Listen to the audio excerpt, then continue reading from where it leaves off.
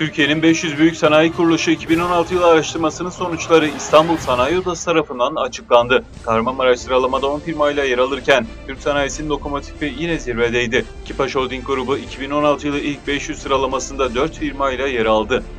Kipaş Holding'in kaptanı Mehmet Hanifi Öksüz, İstanbul Sanayi Odası'nın ilk 500 sıralaması, Türkiye ekonomisindeki son durumlar, istihdam teşvik paketlerinin iş dünyasına yansımaları ve Irak, Libya, Mısır, Suriye'den sonra Katar'la devam eden İslam coğrafyasındaki oynanan oyunları Aksu Haber'e değerlendirdi. Holding olarak mevcut şirketlerimizi her yıl biraz daha büyütme gayreti içerisindeyiz diyen Öksüz, ufukta yapacağımız yatırımlarımız var. Bunları da yaparsak daha çok sayıda şirketler bu sıralamada yer alacak dedi. Tabii biz Kipaş grubu olarak oldukça yatırımcı bir grubuz. Mevcut şirketlerimizi de her yıl büyütmeye çalışıyoruz.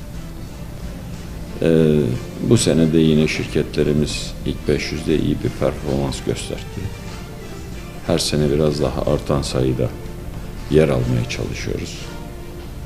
Ufukta yapacağımız yatırımlarımız var. Bunları yaparsak inşallah daha çok sayıda şirketler yer alacak. Çünkü bizim Kipaş olarak hedefimiz artık şehrimize büyük yatırımlar yapmak. Büyük çaplı yatırımlar yapmak.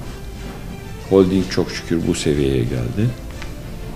Ee, tabii daha küçük yatırımları da zaman zaman terk etmek zorundayız.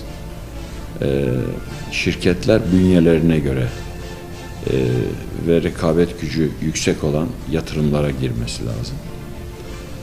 E, bu bakımdan ilk 500'de gelişmemiz oldukça ümit verici. Merak edilen bir konuya da açıklık getiren Yönetim Kurulu Başkanı Öksüz, ilk 500 sıralamasında 4 şirketi bulunan Kipaş grubunu bu listede tek çatı halinde yer alması durumunda hangi sırada olabileceği sorusunu da yanıtladı. Yani şimdi biz farklı sektörlerde farklı şirketler kuruyoruz ki o sektördeki karlılığımızı ayrı takip edebilmemiz için. Yoksa bunların hepsi tek şirkette olabilir. Yani zaten tek şirket olduğu zaman Türkiye'de ilk 20'ye giriyoruz biz. Geçenlerde 16. olarak göstermişlerdi bir dergide. Ama çok sayıda şirketimiz var belki 20 tane falan. Dolayısıyla her sektörde ayrı takip ediyoruz biz karlılığımızı.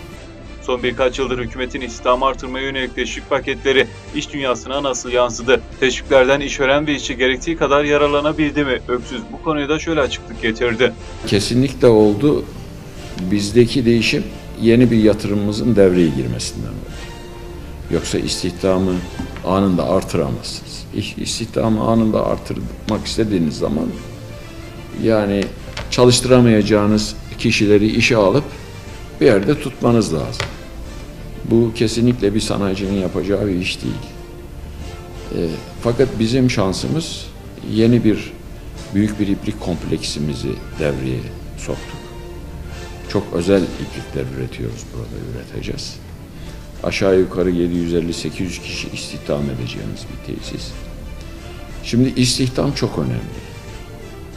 Kesinlikle e, buna katılıyorum. Devletin aldığı istihdamla ilgili önlemleri de saygı görüyorum. Ona da katılıyorum. Ama bunun zaman içinde hep ayarlanması lazım. Öksüz İslam'la ilgili değerlendirmelerinde önemli bir konuya da dikkat çekerek devlet yönetimine çağrıda bulundu. İslam teşvikleri yapılırken bunun bölgenin sanayileşme durumuna göre dikkate alınarak yapılması gerektiğine değinen Öksüz bu konuya ilişkin şu öneride bulundu. Mesela şu anda şöyle bir sorun yaşıyoruz. Biz sanayide şu anda tekrar sanayici istediği sayıda işçi bulamıyor.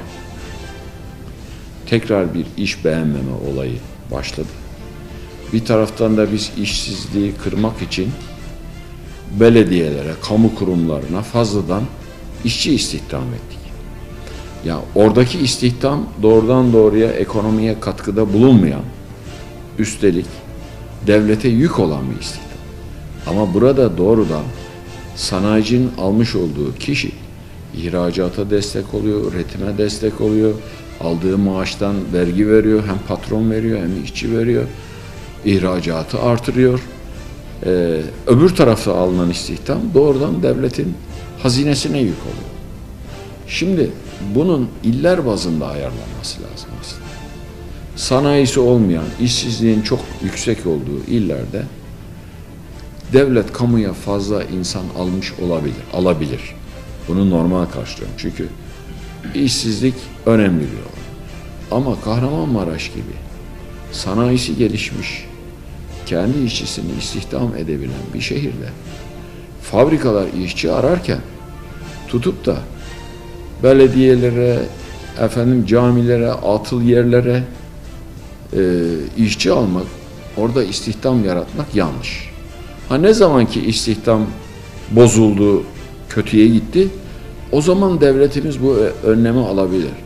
Ama şu anda bakın birçok fabrikalarda işçi olmadığı için Maraş'ta üretim yapılamıyor. Yani bunun derhal ayarlanması lazım çünkü bu e, ekonomiye çok büyük bir şeydir. Bu büyük problemi de şu anda size açıklıyorum ve gerçekten e, devletteki yöneticilerimiz bu önemli noktaya çok dikkat etmeliler, kamudaki yöneticilerimiz.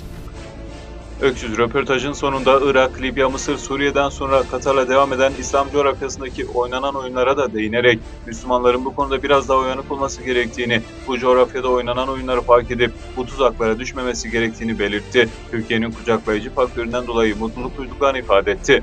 Biz bu insanları suçluyoruz. Amerika'yı, Almanya'yı, Batı'yı.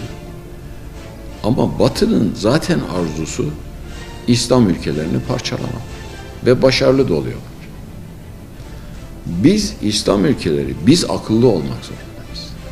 Biz bir arada olmak zorundayız. Başaran onlar, kaybeden onlar. Onların amaçları bu zaten. Onlar amaçlarını biz niye suçluyoruz ki? Onların amaçları o. Biz başarılı olup bu oyunlara gelmememiz lazım. Ama maalesef tabii Türkiye'de İslam ülkeler arasında çok önemli, öncü bir ülke. Bu bakımdan bizim işimiz çok zor. Şu anda Arapları ikiye bölmeye çalışıyorlar. Yani Libya'yı bitirdiler. Irak'ı bitirdiler. Suriye'yi bitirdiler. Sıra geldi. Türkiye'yi denediler. Türkiye'de bir şey yapamadılar. Çünkü Türkiye'de bir demokrasi var. İnsanlar seçtiğine sahip çıktı. Bu güzel bir şey. Türkiye farklı bir ülke. Tarihimiz var. 6-700 yıldan beri büyük devletler oluşturmuşuz. Zihniyetimiz farklı. Ama diğer İslam ülkelerine bakıyorum.